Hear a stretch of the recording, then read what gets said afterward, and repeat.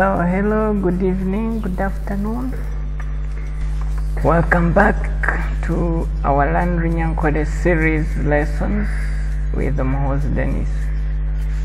And today we're going to look at letters of the alphabet. Yeah, letters of the alphabet, and we call them Enyuguta in Runyankore. We're going to look at the sound system, how you pronounce words in Runyankore. And Runyankore has 10 main vowel sounds. Of those 10, 5 are short vowels. That is A, E, E, O, U. The other 5 are long vowel sounds.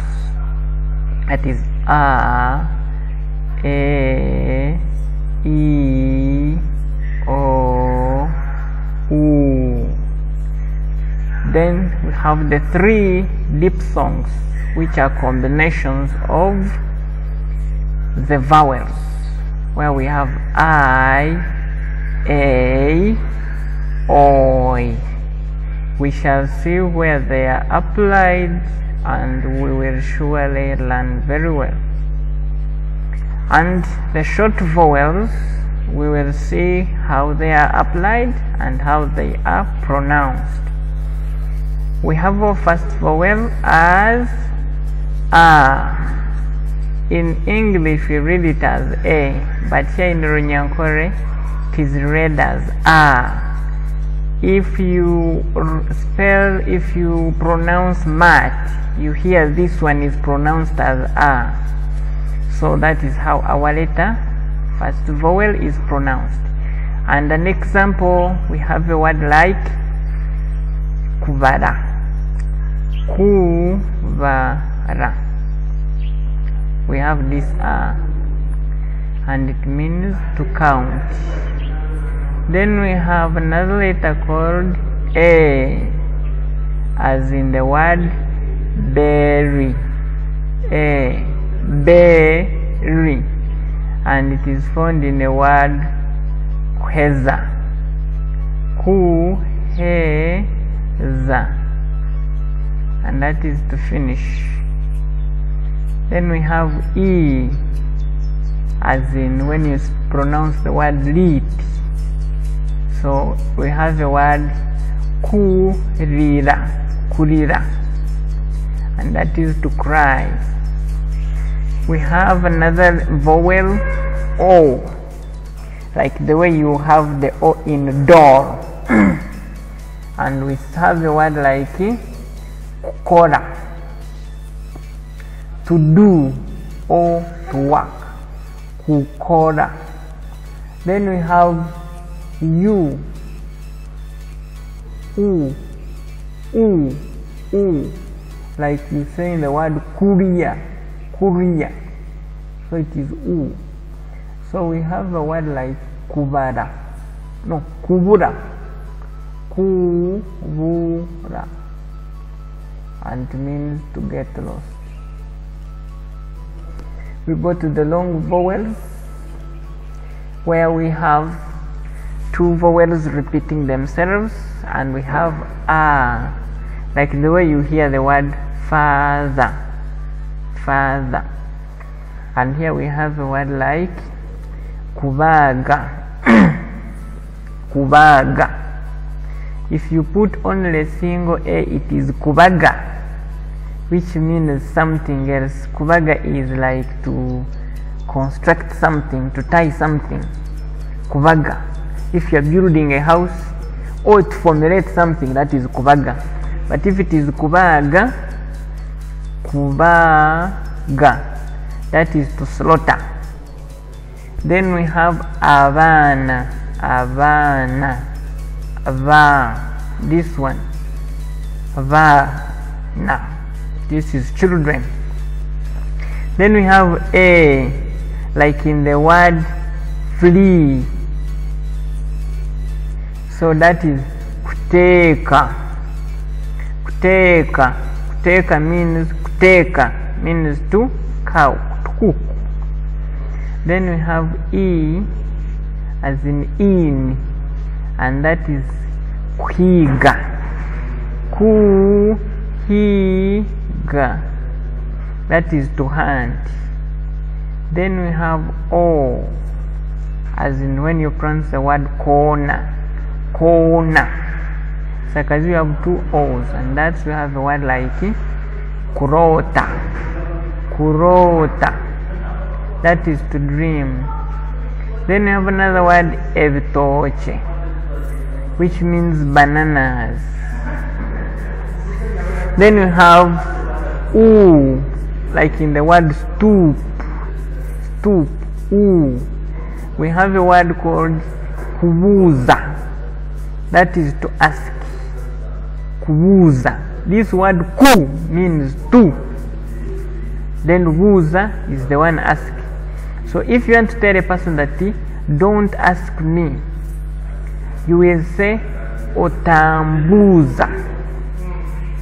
Otambuza. Don't ask me.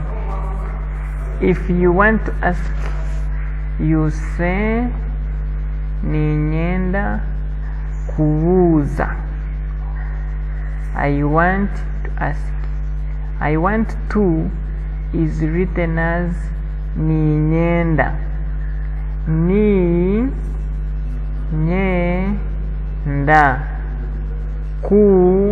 kubuza. Ninyenda kubuza. I want to ask.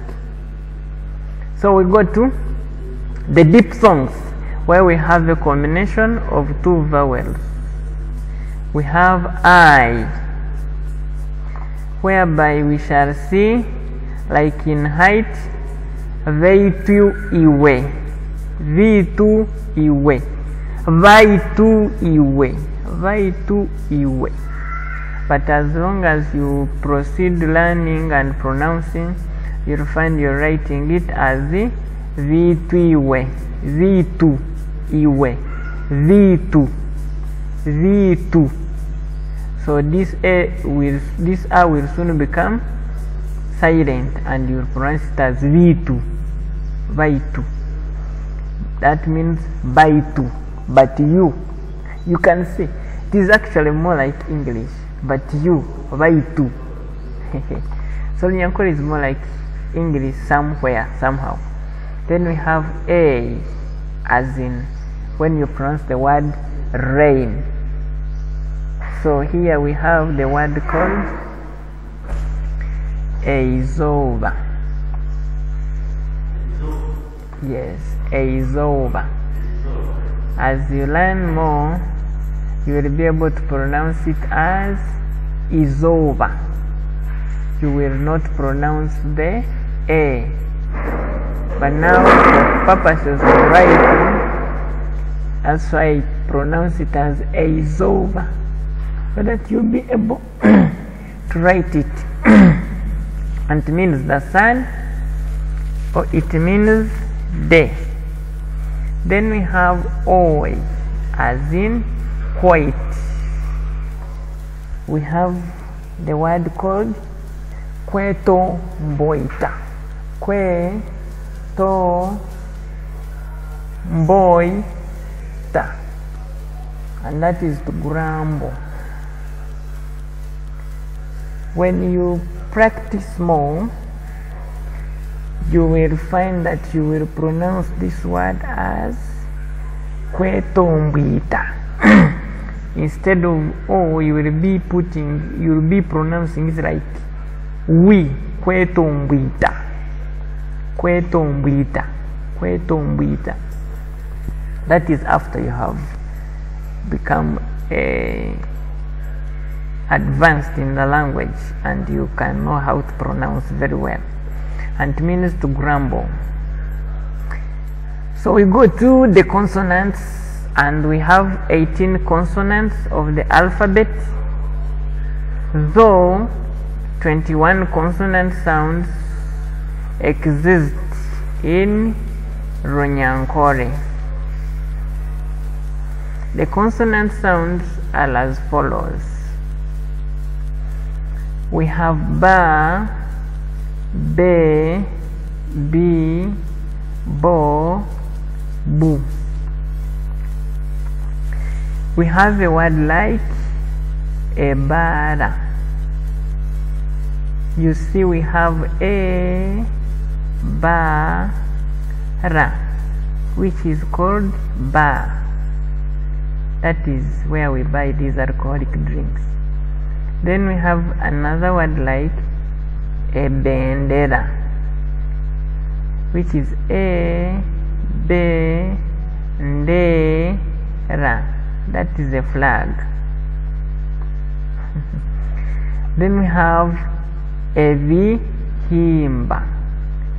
This b we don't call it a bihimba some people will pronounce it like that but it is called v v a a v he ba this is called beans. Then we have a takuri. A v ta ku ri that means sweet potatoes. A v ta kuri then we have another word embogo a that means a buffalo. I think you're getting me clear that these pronunciations are is pretty easy. So we have a we saw this one as a vowel. Then we have m we shall meet this ma. We shall sit in front is pronounced as ma but when it has bo it is mbo go then you have a word called oburo which is o wu ro that is called millet. Millet. Because millet is a staple food for ankole you will not fail to find it as a common word and you have to know it very well and the application you can say ni nyenda oburo. Ni nyenda oburo. We had seen that the nyenda means to want. This ni means i. So you can say i want millet. You say ni nyenda oburo if you don't want the millet you say tinkwenda oburo. That word i don't is t then kwenda means want.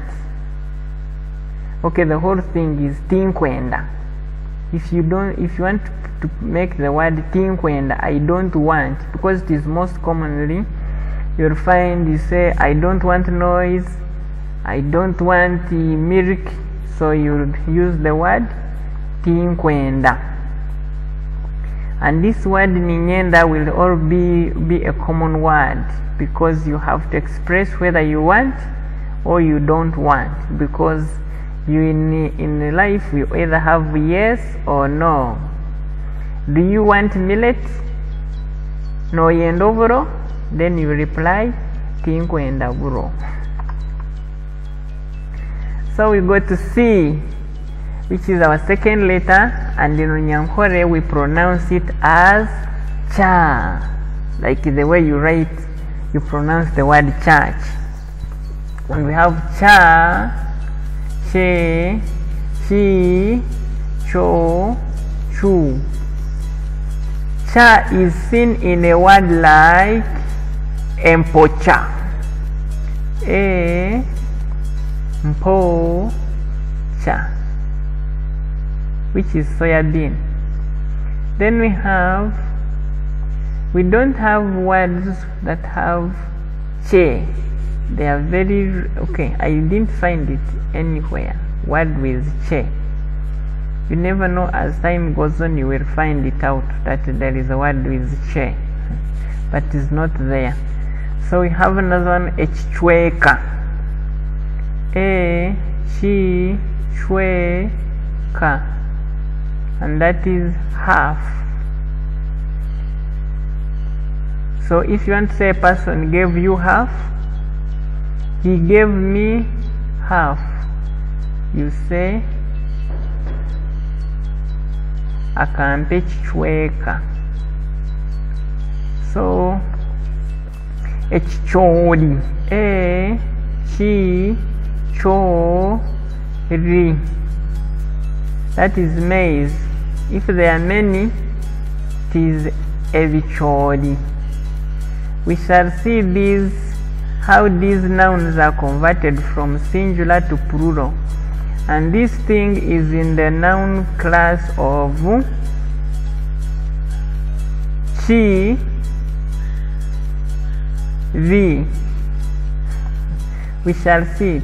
There are words that have echichori ebichori and that's how they they convert to plural. Then we have a chupa a chupa that's a bottle.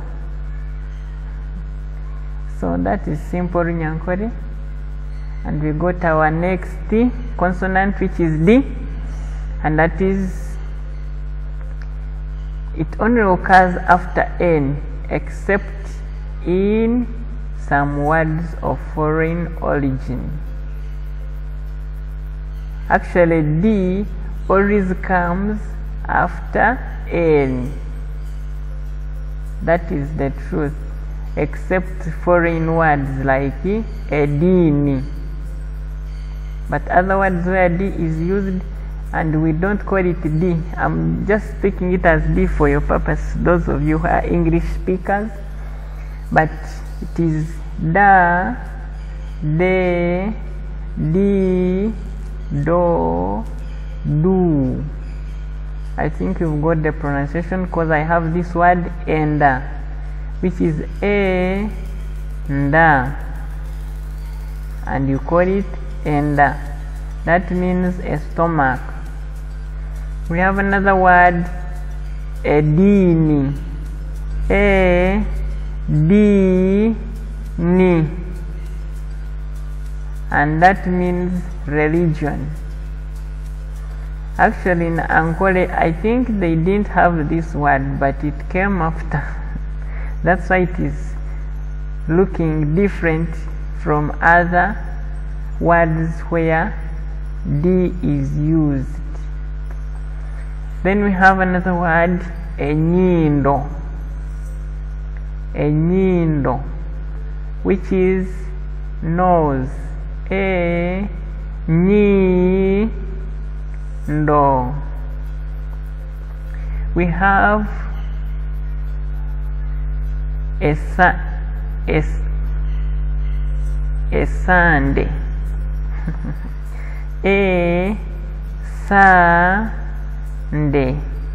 that is a sunday that is week a sunday a sunday we pronounce it as a sunday because there is no double r if it was double r we would say a sand, a sunday but it is a, a sunday then we have another word a shande and we have a shande that is banana juice. But in Ankole the only juice we knew was for bananas. Only that now people have started squeezing juice from other fruits. And that's why you will find them calling a shande for other juices. But it is typically banana juice. Then we have empundu. Eh, e mpundu this mpundu. Empundu that's a gorilla. Then we have another word empindu e mpindu that's a needle. You can see it here. Normally, women, girls, before they got married, after getting married, they were required to spend in the honeymoon to make baskets, weaving baskets, and they used to use this thing. And there's a proverb that this, what it makes, resembles it. Empindu neshusha ekyeruka. In that a child resembles the parent. Then we have a duka. That is a shop. Of course, once in a while, most of the items you will have to get them from the shop. So you ask people, Eduka Erinkahi, where is the shop? That is in case you are stuck on the way and you want to know where that there is a shop to buy some items. And we go to our fourth one, which is fa, fe, fi, fo, fu. In English, we have these letters F, but in Nyankole it is mainly fa, fa. And we have a word like okfa. Okfa means to die. O kufa, to die. Then we have a word called obrofa. When you add fa to oburo, you get that. You don't get millet. I don't know how they made this word, but if you add fa to oburo, you get that. So this is o, wu, ro, fa, which is that. We have another word called echfera. This echfera means idiot or somebody who doesn't understand. So it is a, she, fe, ra. Or somebody who is stupid, you say fera. That is. Then we have a feza. A feza. Feza.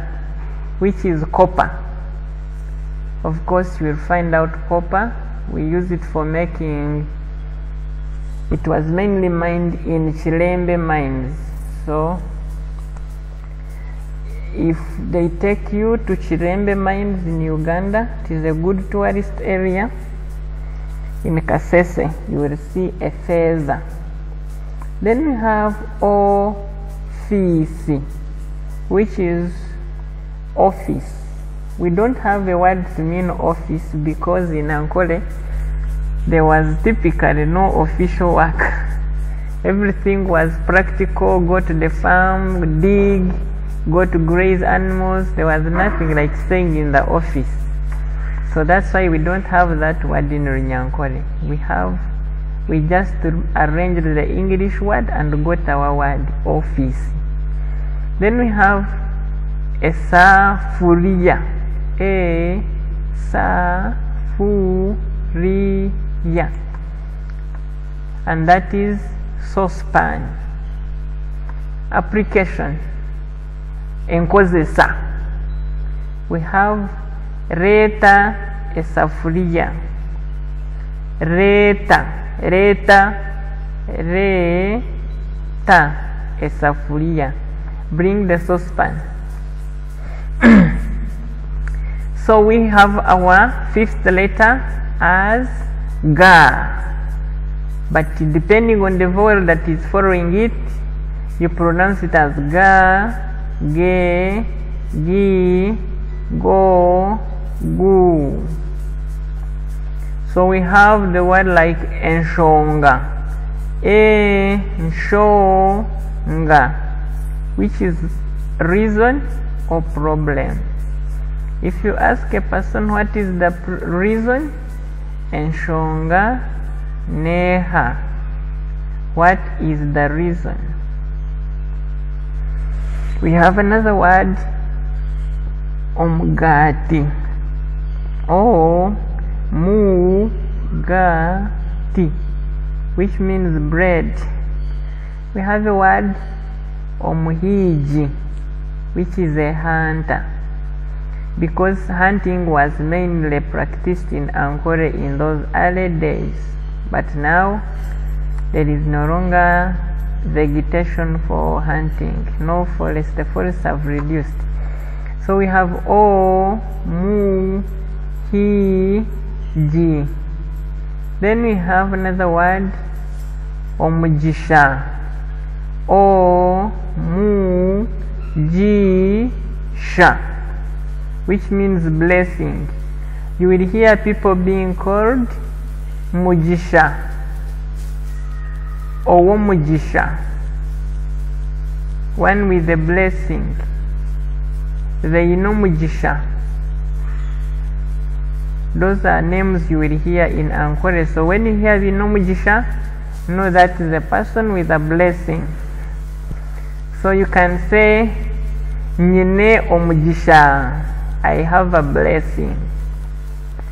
Or you know mugisha you are blessed or you have a blessing. I am blessed. Ndi owomugisha I think you have seen this word owomugisha ndi owomugisha I'm blessed. Meaning if somebody says owomugisha that is the blessed one.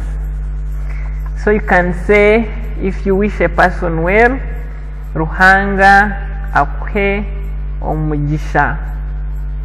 May god bless you. Ruhanga is god.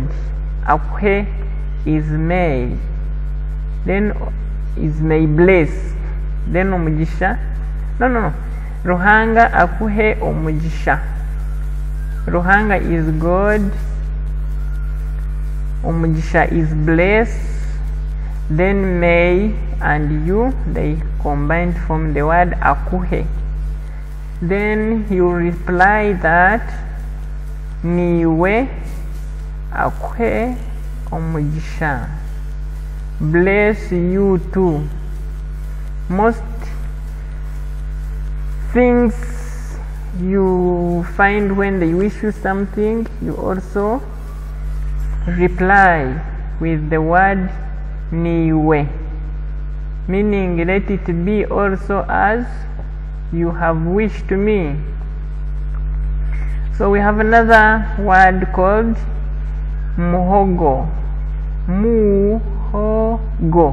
which means cassava cassava is important in Ankole because we add the cassava in millet in millet flour and then we make the millet bread which is very sweet and tasty.